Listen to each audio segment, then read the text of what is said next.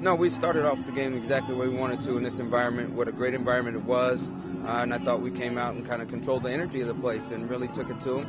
And the goal was fantastic. Um, exactly what we talk about, and exactly the way we wanted to start the game.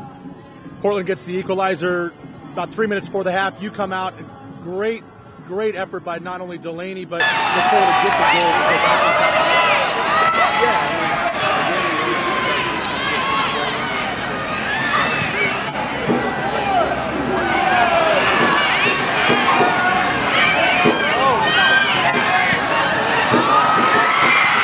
And then late in the second half, Goal, Washington State.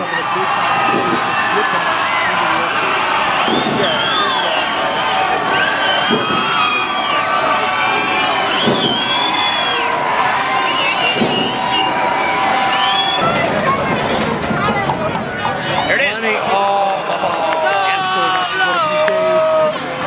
You have several opportunities to win. After Gerv gives you a save and you convert the first four and just just couldn't find a way to get one more tonight. Yeah, it's uh, unfortunately sort of the, the, the story of the season for us a little bit. We, we've had chances to take some games. a- a- That's some good defense right there. Defense up good!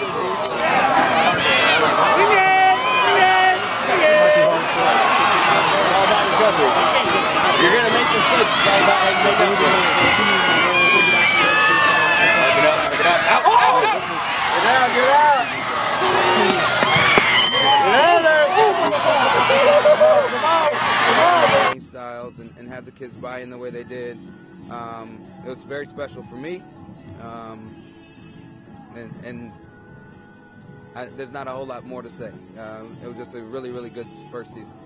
Donnie, thanks for the time as always and great season for you. Thank you.